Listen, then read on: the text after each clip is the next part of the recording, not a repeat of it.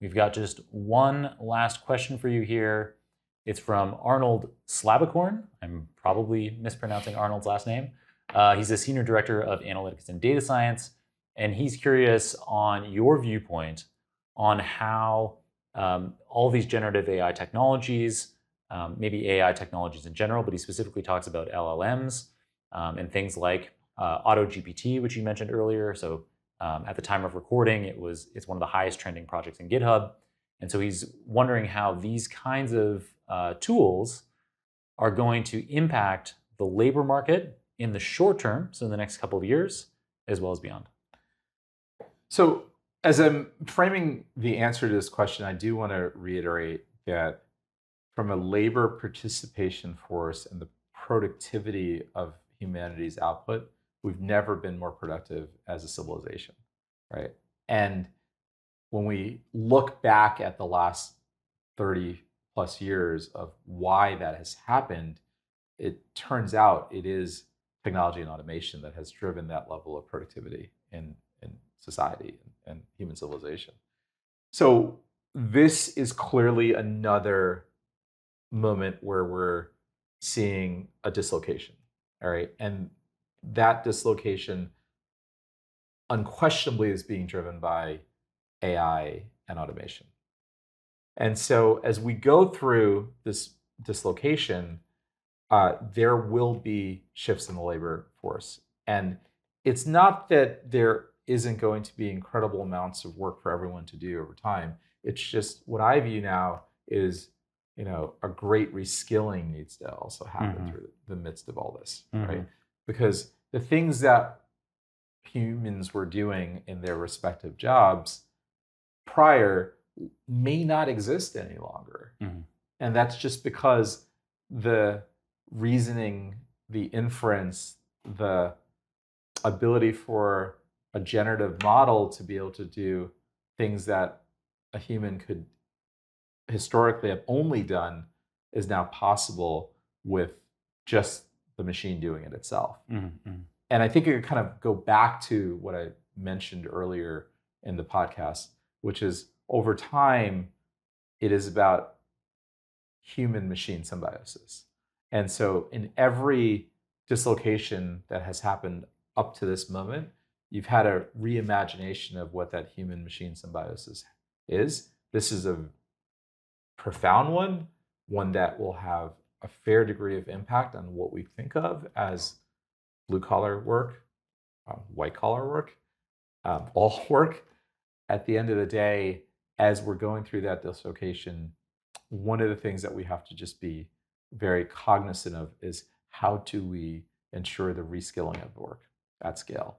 And one of my um, incredible sort of passions about about all of this um, over you know my own career from this moment on is is how do we ensure that there's meaningful work for everyone, and it's something that we have to deeply and profoundly engage in as a society because if we don't provide meaningful work, um, even as this dislocation is occurring, there's problematic issues with you know the sort of core bedrock of of of human civilization. For sure. And and that's where if we if we undertake the necessary steps to reskill ourselves in any job your job my job like like we have to do our jobs differently right it's like you know as uh as someone who is a builder of software um, someone who's a data scientist, someone who's an investor,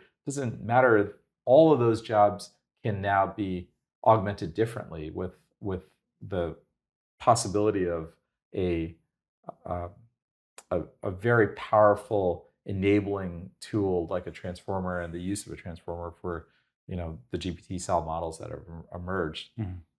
But that that that means like just like all kinds of tools were introduced in our past in human civilization, we have to make the adjustments as humans for the introduction of these new tools.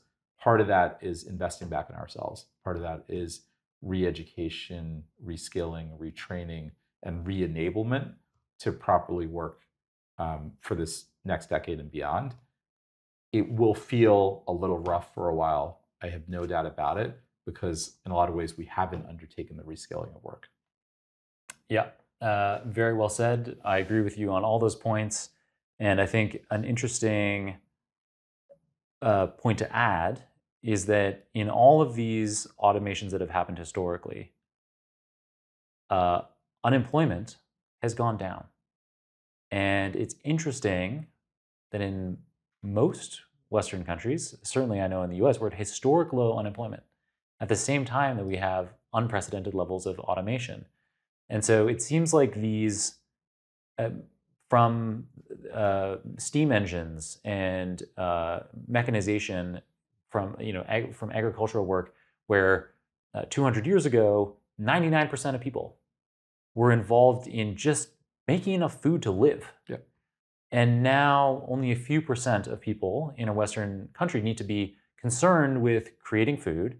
And now we have this reverse problem of for, for like more people are dying from too much food.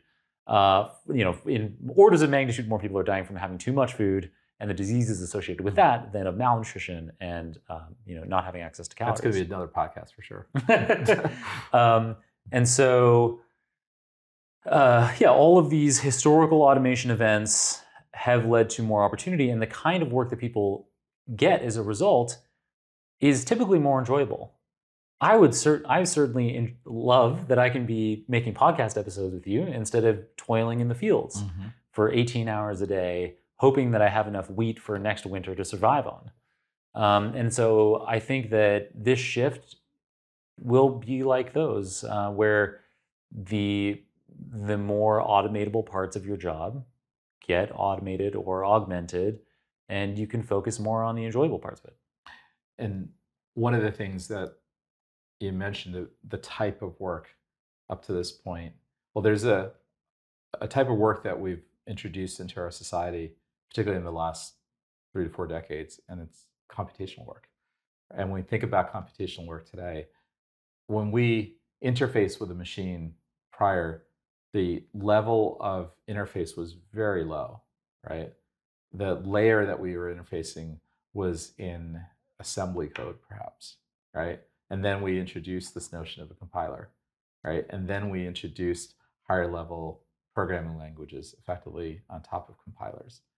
And so, what I think is where the computational work of our you know, great civilization is headed is that we're going to be in a moment where the most common programming languages in the world are likely going to be English and Chinese. Right. And that doesn't necessarily close off the fact that there isn't incredibly compelling things to do, to your point. It just means that the abstraction that we can now engage, the democratization and the scale of what we can now use our machines to help us create better outcomes for ourselves and the rest of society is more possible now and into the future than ever before.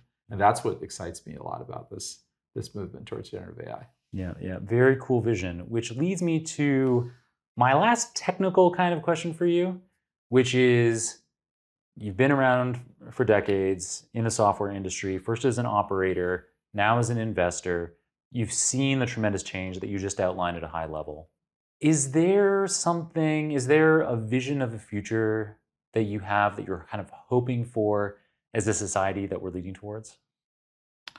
Yeah, uh, if if I look at you know what this should look like in the next decade and beyond, I I don't go back and perceive this sort of dystopian world where no one has an ability to do high functioning, meaningful work in their day jobs.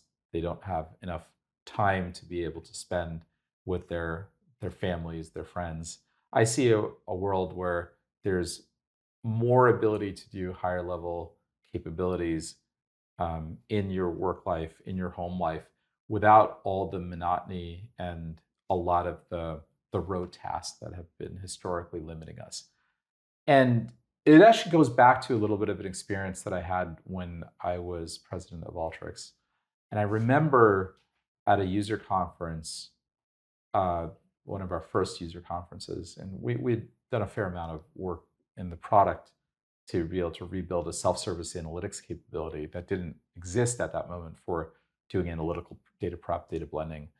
And one of the data analysts that was at the conference in those early days came up to came up to me and and he had this sort of look of of just joy, but but also uh, emotion, and and he was he was about to cry, and and and he said, "Can I give you a hug?" And I'm like, "I don't know you yet. Why are you wanting to give me a hug?" And and and he says, "Well, I just wanted to let you know that I was able to get to my son's baseball game on Fridays again on time, and it's been over two years that I've been able to do that because I've always had to stay after the time that I've been allocated for work to get the data set right mm. to be able to be ready for the next week. Mm-hmm. And now I can run a routine. It's automated that routine. I'm home at 5:30 and I can make my son's baseball game. Wow. Great story. And that is what I think about as the profound nature of AI and automation for this next generation. Like, what if we can all get to our kids' baseball games on time? What if we can all have a higher quality level of interaction with our friends and our families? Because the rote tasks, the things that have gotten in the way of us being more higher higher productivity and what we're engaging upon is somehow more possible than before because humans and machines are working in a more symbiotic way. And that's what excites me about this future, particularly when it comes to a generative AI first world.